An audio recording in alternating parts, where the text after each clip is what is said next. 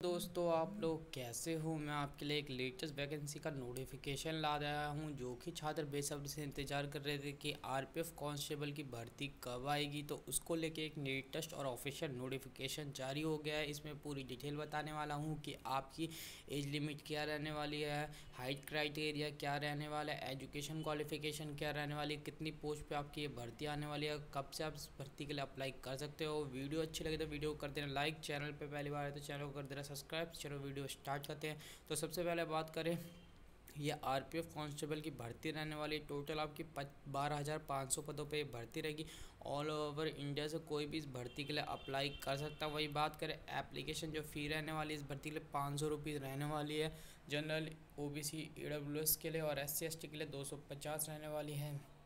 अब बात करें, ये जो भर्ती है इसमें एज लिमिट क्या रहने वाली तो तो एज लिमिट को लेके मैं आपको अपडेट बता देता हूँ कि इसमें एज लिमिट आपकी 20 से 25 रहने वाली है। वही बात करें एजुकेशन क्वालिफिकेशन दसवीं पास है तो आप इस भर्ती के लिए अप्लाई कर सकते हो।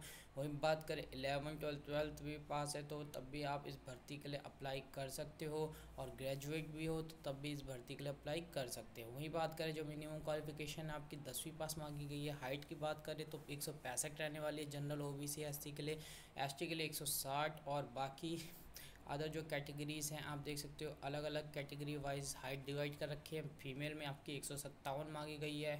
वहीं बात करें मेल कैंडिडेट में तो मैक्सिमम एक सौ पैंसठ रहेगी।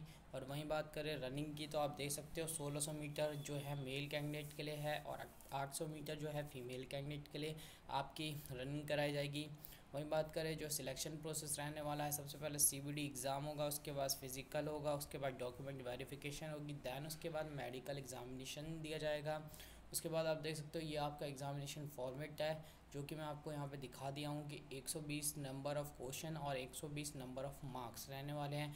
अब बात करें ये भर्ती का नोटिफिकेशन कब जारी होने वाला है तो मैं बता दूँ ये भर्ती जो है आपको देखने के मिल जाएगी अगस्त में, या आपको भर्ती ऑफिशियली देखने के लिए मिल जाएगी। अगर वीडियो अच्छी लगे तो वीडियो को लाइक कर दें, चैनल पर तो सब्सक्राइब ज़रूर